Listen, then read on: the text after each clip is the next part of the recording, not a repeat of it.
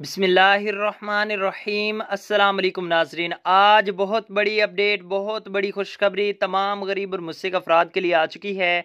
हर गरीब और मुझसे ख़ानदान को पच्चीस हज़ार, पूरे पच्चीस हज़ार की इमदाद दी जाएगी। ये इमदाद आपको बेनज़ीर कफ़ालत प्रोग्राम, एहसास प्रोग्राम की जानब से मिलेगी। जो वजीफ़ा मिलता है बच्चों को और माँ को जो इमदाद मिलती है, वो इमदाद है पच्चीस हज़ार रुपये की। कुछ लोगों को सिर्फ़ जिनके बच्चे छोटे हैं, कॉलेजों में, स्कूलों में नहीं पढ़ते और उनके नाम अगर बच्चे हैं भी, उनके नाम अगर वजीफ़ा प्रोग्राम में ऐड नहीं है तो उनको सिर्फ़ और सिर्फ़ चौदह हज़ार रुपए की इमदाद मिलेगी। जिन बच्चों के नाम वजीफ़ा प्रोग्राम में ऐड हैं, उनको पच्चीस हज़ार रुपए की किस्त दी जाएगी।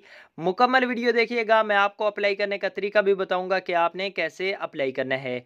आज की वीडियो शुरू करने से पहले वीडियो को लाइक कर लें, दोस्तों के साथ शेयर कर दें वीडियो को। चैनल को सब्सक्राइब नहीं किया तो सब्सक्राइब कर लें, नीचे सब्सक्राइब बटन है, जल्दी से सब्सक्राइब जाकर कर दें।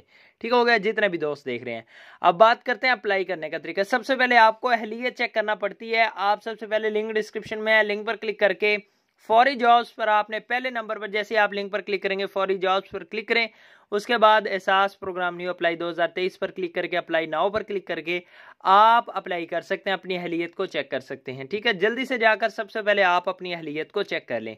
अगर तो आप अहल होते हैं तो आप इस चीज़ को गौर से सुन लें कि अगर आप अहल होते हैं तो आपको इमदाद मिलेगी। अगर आप नाअहल होते हैं तो आपको इमदाद नहीं मिलेगी।